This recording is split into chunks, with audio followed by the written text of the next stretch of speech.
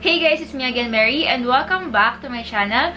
For today's video, we will be doing another unboxing and quick review. Pero before we proceed to the unboxing, I would like to thank the Amersoft company for sponsoring today's video.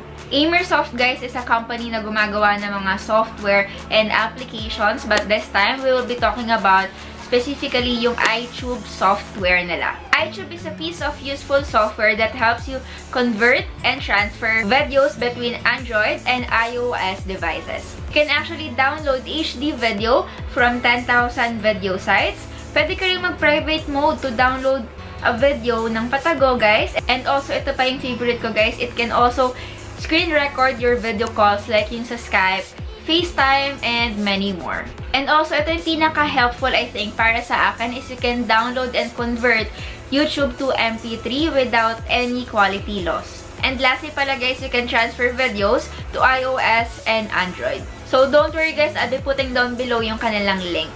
Yes, finally, nandito na yung ating Infinix S4. And pasensya na guys kung medyo natagalan ako sa pag-upload. Kasi ang tagal rin dumating actually ng phone. Probably provincial ako, kaya siguro matagal yung shipping. But anyway, this is only like 6,999 pesos. Imagine that. Tapos yung specs niya guys, ito babasahin ko sa inyo ah. It has 64 gigabytes of internal storage with 6 gig of RAM with 4,000 mAh battery capacity and triple camera. Imagine, 7,000 pesos lang yung cellphone mo pero tatlo na yung camera mo. So, I'm very curious sa phone na to actually. So, without further ado, let us proceed to the unboxing. So, andito na yung ating mahiwagang cutter finally.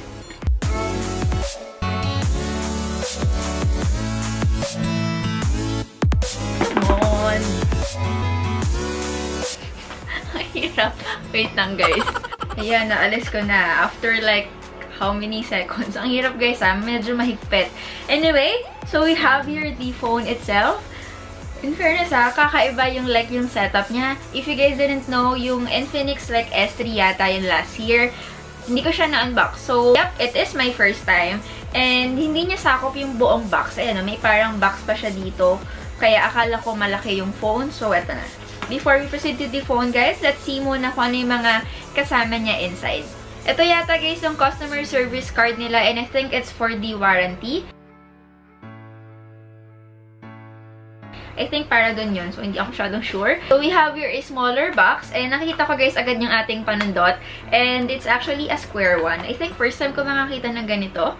Ganyan yung itsura, guys, ng ating panundot or yung ating SIM card ejector. Okay, so hindi pala warranty card yung una kong pinakita sa inyo, guys. So, this is how it looks like. Ito yung warranty card pala. We also have a manual and a lot of paperwork. Ang daming papel na kasama, ha? So, guys, yung mga papel na kasama.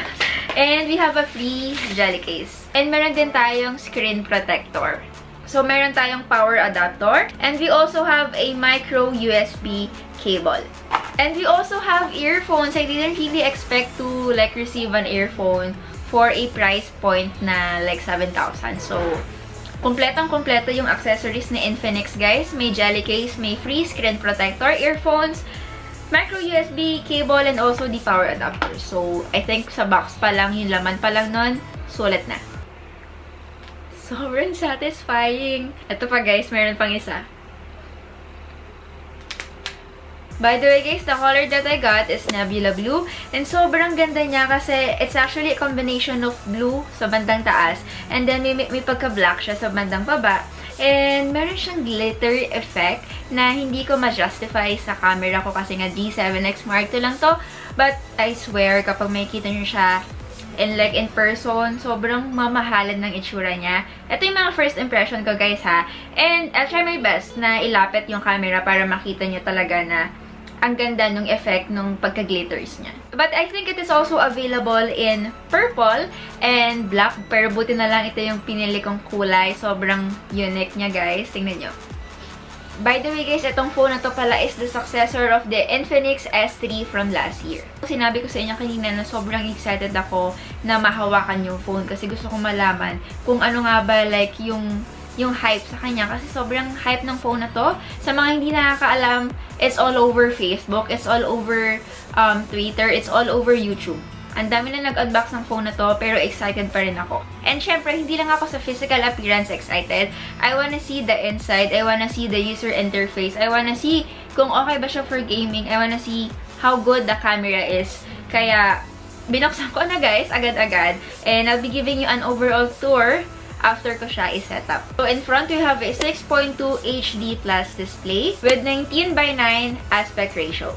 And it actually has 720 by 1520 pixels. And at the back of the phone, we have a triple camera. And I think ito yung isa sa mga reasons kung bakit hype na hype siya. So, unang-una guys, we have 8 megapixel for the depth sensor. And then, pangalawa, we have 13 megapixel for the primary camera. And lastly, we have 2 megapixel for the ultra-wide lens. And also, what I noticed guys is yung notch niya, water drop na siya. And it actually houses a 32 megapixel front camera and the speaker. And yung pagka-water drop notch pala niya guys is a first sa Infinix S-series. Kasi yung previous, yung S3, is yung notch niya is yung pag ano, like yung sa iPhone. Yung water drop notch kasi guys, it lets you have more utility and notification icons. And meron pa rin tayong chin sa ilalim ha, hindi siya nawala guys. Pero compared to the S3 last year, medyo trimmed down na siya ng konti. Also, sa ilalim ng triple camera, meron po tayong LED flash, the fingerprint scanner, and the Infinix logo sa ilalim ng scanner. And then on the rightmost part of the phone, we have the power and lock button and the volume rockers. And then on the leftmost part of the phone, we have a dual 4G Lite Nano SIM plus SD card. On the display, it has a great viewing angle and actually it's quite responsive to type on. Siyempre, hindi mawawala yung pag-test natin ng fingerprint scanner. Let's see kung responsive ba siya.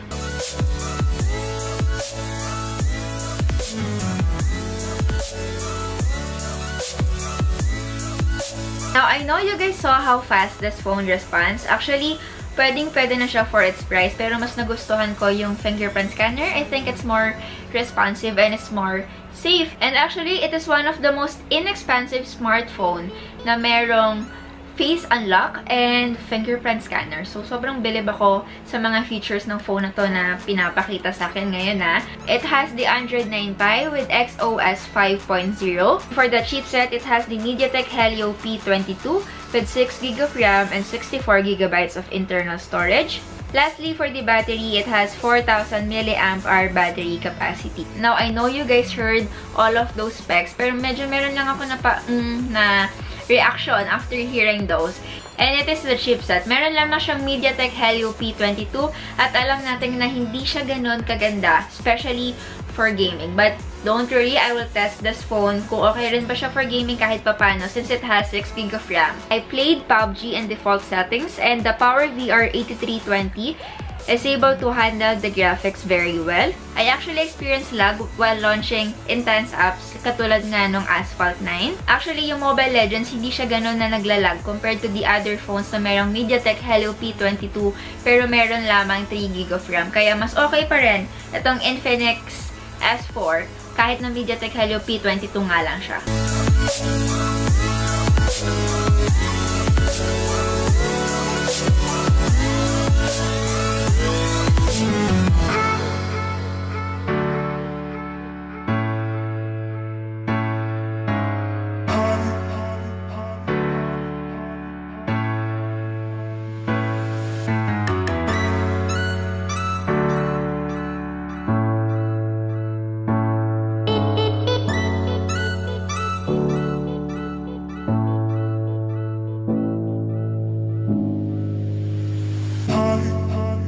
Quality is not the best. Kapag nahawakan nyo na siya, may mga budget phones kasi na pag hinawakan mo, it felt like it's a premium phone kahit hindi. Ito kasi, hindi talaga. Fairness, the Infinix S4 is a great starter, especially for students, and magpapasok ka na. You guys need a phone, and kung may phone ka man na medyo mamahalan na hindi mo pwedeng dahil cool, then you can buy the Infinix S4. Camera is pretty much decent. Pwede na um, hindi ko magets yung hype kung bakit gano'n na sobrang hype na hype siya. Sobrang ganda, ganito, ganyan.